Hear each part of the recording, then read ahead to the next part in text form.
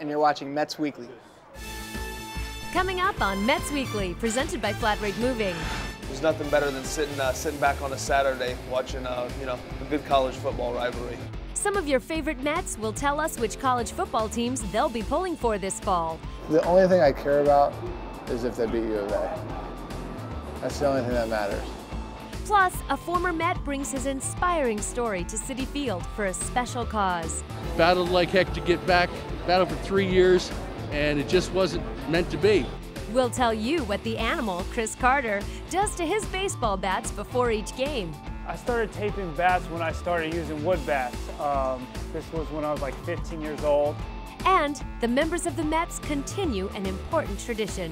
You know, it's just so, so special to be able to come in here and, and kind of hang out and just kind of, um, you know, hear these guys' stories and, and just let them know that, that we appreciate everything they do. By fans for fans, this is Mets Weekly. Welcome to another episode of Mets Weekly presented by FlatRate Moving. I'm Julie Alexandria, and today we're coming to you from the New Era store in downtown Manhattan. Now, most baseball players are sports fans too. They play fantasy football, they fill out their brackets for March Madness, and most of your favorite Mets have a favorite college football team. I really enjoy watching college football. That's uh, you know there's nothing better than sitting uh, sitting back on a Saturday watching uh, you know a good college football rivalry. Arizona State, because I went there and I'm an alumni now. And really, the only college games I ever went to was the Arizona State ones. So, you know, I definitely have to root for the Devils. The only thing I care about is if they beat U of A. That's the only thing that matters. Well, I went to school at Western Michigan, but I uh, grew up in Notre Dame uh, football fan. So my dad and my brother went there, so I'm a big Notre Dame football fan. And uh, it just so happens that the Broncos play the Irish. Uh, I think it's like November 16th this year. So uh, it should be pretty exciting. We grew up every weekend going there, and uh, just a beautiful campus, and uh, you know so much history there.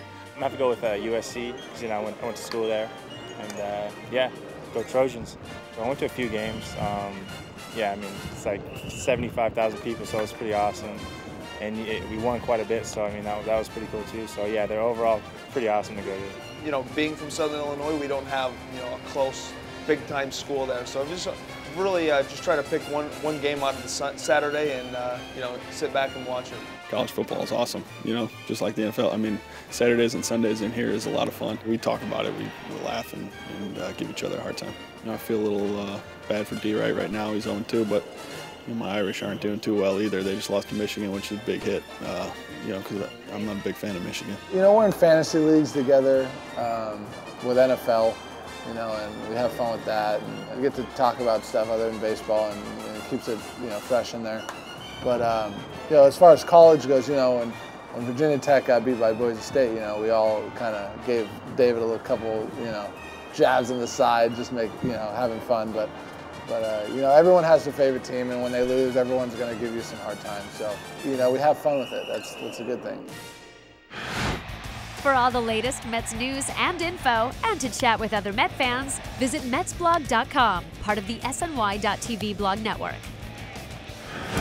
Time for the FlatRate Moving Move of the Week. And he drives one to left field beyond the reach of Tabata, and that'll go one hop up against the wall.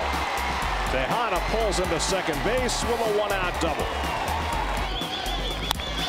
Evans pulls one through the hole base hit. Here comes Tejada around third. Tabata's throw to the plate. Not in time, and the Mets win it. Nick Evans with a walk-off hit brings home Ruben Tejada with the game's only run, and the Mets win it in 10, 1 to nothing. Still to come on Mets Weekly, presented by FlatRate Moving. The Mets continue an honorable tradition that is so close to the hearts of many New Yorkers. These are the real heroes. These are the people that uh, you know got everything, try to get everything back in order. And uh, you know, the least that you can do is go back and tell them thank you and show your appreciation. And and Davis clocks one to deep center field, going back, warning track at the wall. It's out of here. We take a look at Ike Davis and the impact the rookie has had on the Mets this season.